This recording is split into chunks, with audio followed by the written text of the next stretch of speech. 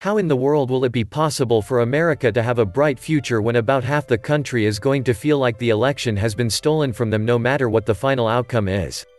There simply isn't going to be any going back to the way that things were for the last four years. At this moment, tens of millions of Trump supporters believe that the Democrats stole the election. But if the courts agree with Trump's legal team and Trump ends up getting a second term, tens of millions of Biden supporters will be convinced that Republicans stole the election. Either way, we are going to be a nation that is full of deeply angry people. Right now, the mainstream media is assuming that Biden is going to be president. But the reality of the matter is that we are going to end up with either Donald Trump or Kamala Harris in the White House. Even if Biden is inaugurated, his rapidly deteriorating physical condition will not allow him to serve for very long.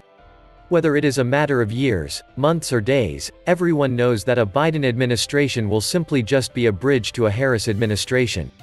If Trump's legal challenges are not successful and Biden ultimately emerges victorious, Trump supporters should actually be praying really hard for Biden's health, because things will actually go much worse for them under a Harris administration.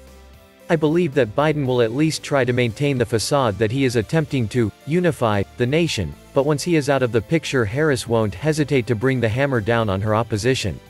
Harris was rated the most liberal member of the U.S. Senate during her time there. Yes, that makes her even more liberal than Bernie Sanders. And when she was the Attorney General of California, she showed how utterly ruthless she can be at times.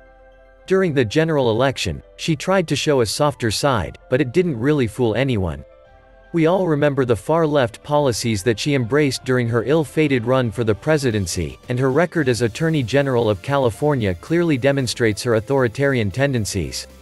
Of course many Trump supporters are hoping that a Harris administration will never materialize because Trump wins a second term.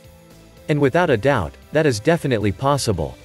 On Tuesday night, White House Press Secretary Kayleigh McEnany showed Sean Hannity a stack of 234 pages of sworn affidavits from people that have testified that they witnessed election fraud in their states. Each day more evidence of voting irregularities continues to emerge, and I am sure that there will be more bombshells tomorrow. But the clock is ticking.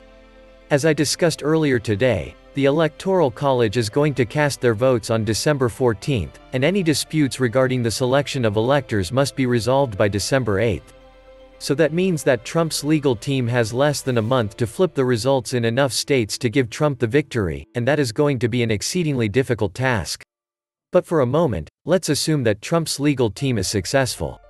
Do you think that the left is just going to back down and accept four more years of Trump peacefully? Just put yourself in their shoes. The mainstream media has been telling them over and over that they won the election legitimately and that there is absolutely no evidence of election fraud. When the big news networks called the election for Biden, they laughed, they cried and they danced in the streets. For many on the left, it was as if Christmas, their birthdays, and the 4th of July had arrived all at once. Can you imagine how much fury they are going to feel if Trump's legal team is able to flip state after state and swing the final outcome back in the other direction? It would definitely be enough to convince many of them that a peaceful solution is no longer possible. I believe that we would see violence in our streets on a permanent basis from this point forward, and it would be far worse than any of the civil unrest that we have witnessed so far. Like I said, there is no going back to how things were before. Either a Biden administration will be a bridge to an absolutely ruthless far-left Harris administration, or a second term for Trump will cause the left to go absolutely berserk. I don't see any other option at this point. Do you? As it stands, we still do not know who is going to win. According to the U.S. Constitution, it is the Electoral College that elects the president, and that election is not going to be held until December 14. So nobody should be claiming the title of president-elect yet. You can't be a president-elect when the election hasn't even happened. Yes, if we get to December 8 and Joe Biden is still leading in the vote count in the states that he is currently leading, it will appear that time will have run out for the Trump campaign. But 234 pages of sworn affidavits is nothing to scoff at, and I am sure that Trump's legal team is working night and day to uncover even more evidence of potential fraud. It would take the biggest legal miracle in US election history for Trump to pull this off, but it is definitely still possible. Right now, we are still playing a waiting game.